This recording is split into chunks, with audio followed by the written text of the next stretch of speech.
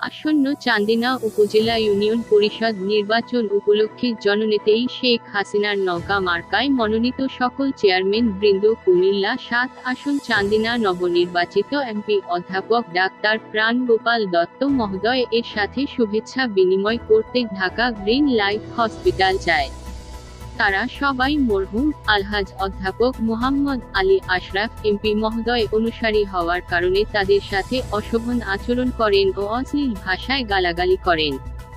সেই সময় মনোনীত সকল চেয়ারম্যান তাকে ফুল দিয়ে শুভেচ্ছা জানাতে চাইলে তিনি মাটিতে ফুল ফেলে দেয় এবং মেজাজ হারিয়ে ক্যানখাল ইউনিয়ন পরিষদের চেয়ারম্যান জনাব হারুন অর রশিদকে লাথি মারেন।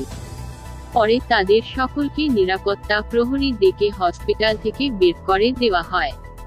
এই সময় উপস্থিত ছিলেন শহীদপুর ইউনিয়ন চেয়ারম্যান জনাব Imam Hossain Sarkar Batakhashi union chairman Mohammad Khorshed Alam Kankhal union chairman Harunur Rashid ও Barira union chairman Mohammad Khorshed Etbarpur union chairman K M Mamunur Rashid Borkoit union chairman Mohammad Abul Hashim ও মাইজখার আওয়ামী লীগ এর সভাপতি Jamal Uddin, Borkori union chairman Saiful Islam Shipon Nawabpur union chairman Shahabuddin master এবং চান্দিনা উপজেলা আওয়ামী লীগ সহ সভাপতি দেলোয়ার হোসেন প্রমুখ।